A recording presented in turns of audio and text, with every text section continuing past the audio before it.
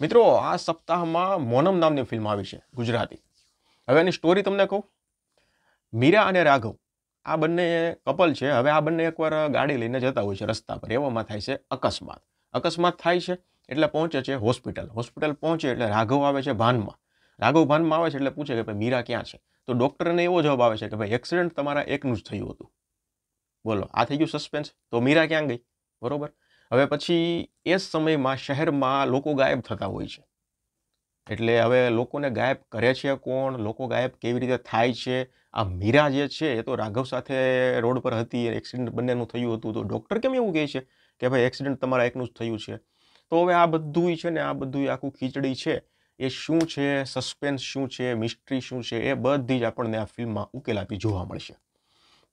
આ ફિલ્મ છે ને મિત્રો જો ડિરેક્ટર ને રાઇટર જે છે ને એ નવા છે. એ કોઈ આમ મોટા ડિરેક્ટર નથી કે જેણે આમ ફિલ્મ ડિરેક્ટ કરી હોય કે પછી રાઇટર કોઈ મોટા જૂના નથી કે જેણે આ સ્ટોરી લખી હોય. એટલે મને એવું લાગે છે કે ગુજરાતી માટે આ સ્ટોરી આ કન્સેપ્ટ જે છે ને એ સારો અને યુનિક કહી શકાય. કારણ કે ગુજરાતીમાં આ પ્રકારની સ્ટોરી લગભગ આપણે બહુ ઓછી જોવા મળે છે.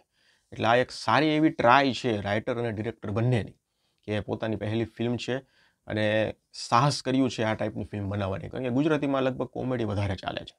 પણ આ ટાઈપની ફિલ્મ બનાવવી એ એક સાહસ જ છે. જો ફિલ્મ છે ને મિત્રો, આમાં નેગેટિવ પોઈન્ટ ઘણા છે. પણ આમ હકીકતમાં કહું તો આમ ઇગ્નોર થઈ જશે, તમે ફિલ્મ જોશો ને, એટલે ઇગ્નોર તો ડેફિનેટલી થઈ જશે. બાકી એક બીજી વસ્તુ તમને કહું કે તમે ફિલ્મ જોવા જાઓ ને, તો તમારું આમ માઇન્ડ છે ને, એ સાથે લઈને ન જતા. કારણ કે માઇન્ડ સાથે લઈને જશો ને તો તમને શું થશે ખબર? અરે આવું તો કંઈ હોતું હશે.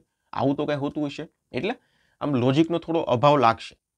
પણ હવે લોજિકની જ વાત કરીએ આપણે, તો પછી ફિલ્મોમાં લગભગ એંશી ટકા ફિલ્મો એવી બને છે જેમાં લોજિક હોતું જ નથી. કારણ કે ભાઈ મનોરંજન માટે ફિલ્મ જોવાની હોય તો લોજિકની ક્યાં વાત આવે એમાં? હવે લોજિકની જ વાત કરીએ તો આપણે કેજીએફ ટુમાં ક્યાં લોજિક લોજિક લેવા જવું? ટ્રિપલ આરમાં ક્યાં લોજિક લેવા જવું? આ તો મોટી મોટી ફિલ્મો હતી ને, હજાર હજાર કરોડવાળી ફિલ્મો હતી. સાલારમાં ક્યાં લોજિક લેવા જવું?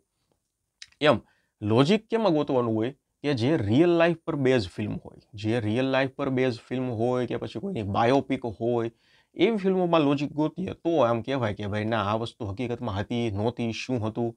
હવે આ તો આપણે ફક્ત બે કલાક, અઢી કલાક માટે પોપકોર્ન સમોસા ખાઈને મનોરંજન કરવાનું છે, હસવાનું છે અને આમ મજા આવી જોઈએ આપણને. પછી જે પ્રકારની ફિલ્મ હોય એ પ્રકારનું મનોરંજન મળે આપણને. એટલે લોજિકનો થોડોક અભાવ છે પણ એ ઇગ્નોર થઈ જશે, વાંધો નહીં. પણ ફિલ્મ જોવાની તમને મજા તો આવશે. એકવાર તો આ ફિલ્મ તમારે જોવાય એવી મને લાગે છે. આમાં હીરો છે, એ તમને ક્યારેક લાગશે વિલન છે, આમાં જે વિલન છે એ તમને ક્યારેક લાગશે એ જ હીરો છે. તમારે આખું ડિસાઇડ કરવામાં કરવામાં ફિલ્મ પતી જશે. ફિલ્મનો સ્ક્રીન પ્લે છે અને એ સારો કહી શકાય. કોઈ વધારાની ઝંઝટ નથી. હા, ગીતો જે છે એ વાંધો નહીં, આવશે અને વૈયા જશે, એટલે કંઈ બહુ ઇશ્યુ નથી. પણ સીન જે છે સ્ટોરી જે છે એ આમ પોઈન્ટ ટુ પોઈન્ટ વાત કરે છે.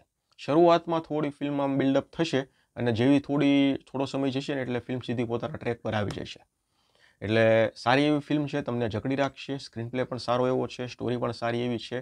ટેકનિકલી ફિલ્મ થોડી આમ વીક કહી શકાય, કારણ કે મ્યુઝિકની તમને વાત કરું તો મ્યુઝિક પણ આમ ઠીકઠાક છે બીજીએમ પણ આમ ઠીકઠાક છે, થોડું એડિટિંગમાં પણ ખામીઓ છે.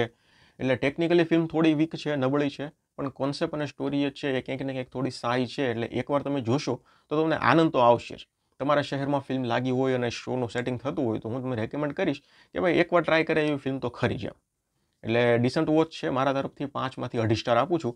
ઓલરેડી તમે જોઈ લીધી હોય તો મને કમેન્ટ સેક્શનમાં જણાવજો કેવી લાગી. બાકી મને એવું લાગે છે કે આ ફિલ્મ જે છે ને, એનું આમ કંઈ પ્રમોશનને હાઈપ હતી નહીં, એટલે લગભગ એક વીક પછી આ ફિલ્મ લગભગ નીકળી જવી જોઈએ. અને અત્યારે શો પણ આમ ક્યાંક ને ક્યાંક ઓછા તો છે જ. એટલે ટાઈમ મળે ને સેટિંગ આવે તો ફિલ્મ એકવાર ટ્રાય કરજો. ગુજરાતીમાં થોડુંક નવું જોવા મળશે તમને. ધન્યવાદ.